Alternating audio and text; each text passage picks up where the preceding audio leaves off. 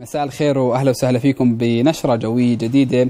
الحديث عن تفاصيل أكثر عن المرحلة القادمة من شهر يناير أو يعني النصف الثاني من شهر يناير. شنو مخبي لنا إياه الأجواء خلال النصف الثاني من شهر يناير؟ هل هناك أمطار؟ هل هناك ثلوج؟ يعني خاصة إنه الكلام أصبح الآن كثير عن توقعات بهطول ربما الأمطار والثلوج خلال الفترة القادمة. يعني في البداية الآن يعني نحن الآن مع ساعة مساء الخميس هناك يعني هطول خفيف لبعض الأمطار في أجزاء من المملكة خاصة المناطق الشمالية والوسطى. متوقعين إن شاء الله أن تستقر الأجواء يوم الجمعة والسبت وترتفع درجات الحرارة بشكل واضح وملموس اعتبارا من يوم السبت والأحد لتتجاوز ال 15 درجة مئوية في العاصمة عمان. إذا يوم السبت والأحد هناك يعني أجواء أدفأ من المعتاد خلال ساعات النهار. ممكن توصل بعمان الحرارة 16 حتى بالتالي تكون أعلى من معداتها ما يقارب أربع أو خمس درجات مئوية. الأسبوع القادم يعني هناك حقيقة يعني جملة من التغيرات الجوية جملة من الأحداث الجوية راح تأثر على خلال الأسبوع القادم. نبدأ يعني من كما ذكرنا على صعيد درجات الحرارة هناك تقلبات كبيرة في درجات الحرارة.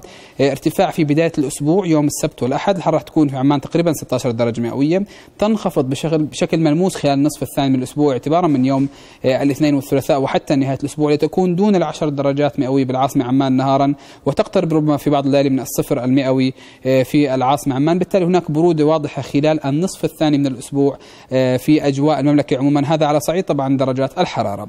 الأمر الآخر متوقع أيضا خلال الأسبوع القادم. هناك يعني خاصة يوم الأحد مساء والاثنين والثلاثاء رياح نشطة ستهب على المملكة.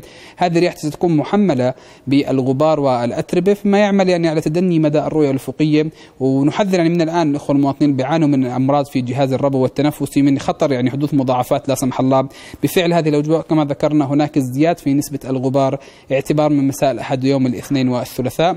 يرافقه كما ذكرنا أيضا تقلب كبير في درجات الحرارة وتحذير أيضا للإخوة المواطنين من عدم يعني من التغير كبير في درجات الحرارة والإحتياط لهذا التغير وعدم تخفيف الملابس. خاصة أيام السبت والأحد مع ارتفاع درجات الحرارة. الأمر الآخر المتوقع أيضا يعني كما ذكرنا يعني هناك تزايد في فرص الأمطار في بعض مناطق المملكة خاصة الأجزاء الشمالية والوسطى في فترة نهاية الأسبوع. قد تهطل بعض الأمطار إن شاء الله أيام الخميس والجمعة على شكل زخات قد تكون غزيرة أحيانا في المنطقة الشمالية والوسطى. لكن ربما أهم ما يميز هذا الأسبوع على عكس ما هو منتشر حاليا لا لا ثلوج متوقعة حقيقة خلال الأسبوع القادم خاصة بالفترة ما بين 15 حتى 22 كان يناير كان الثاني. إذا يعني راح تركز على المعلومة أنه لا ثلوج متوقعة خلال الأسبوع القادم لكن بحسب المعطيات الأخيرة الواردة لدينا في طقس العرب يعني تشير ربما على ازدياد فرصة تأثر المملكة بالفعاليات الجوية الباردة وربما تساقط الأمطار والثلوج في المملكة اعتبارا من 23 كانون الثاني يناير. يعني بنحكي عن بداية الأسبوع مش القادم الأسبوع الذي يلي الأسبوع القادم اعتبارا من يوم السبت هناك ازدياد في فرص تساقط الثلوج في بعض مناطق المملكة. حقيقة خاصة الأسبوع الأخير من كانون الثاني يناير. هناك فرصة ربما لأن تشهد بعض مناطق المملكة تساقط ثلوج بإذن الله حسب المعطيات الأخيرة. هذا كان آخر ما لدينا من تحديثات جوية في طقس العرب.